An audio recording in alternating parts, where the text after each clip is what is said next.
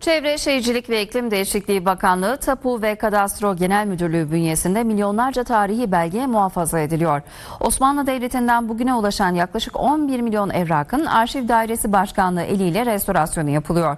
1463 tarihli 65 metre uzunluğundaki Ayasofya Vakfiyesi de elle yapılan titiz çalışmayla yenilendi.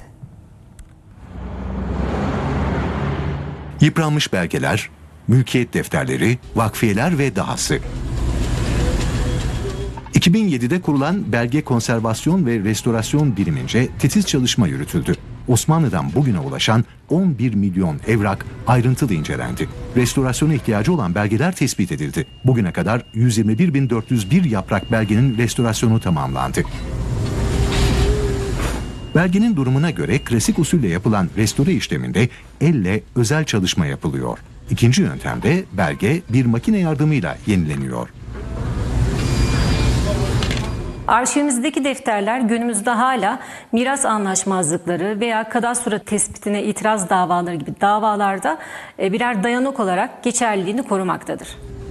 Tarihi belge niteliği taşıyan Ayasofya Vakfiyesi'nin restorasyonu da gerçekleştirildi. 1463 tarihli 65 metre uzunluğundaki Ayasofya Vakfiyesi klasik restorasyon usulüyle elle yapılan titiz bir çalışmayla yenilendi.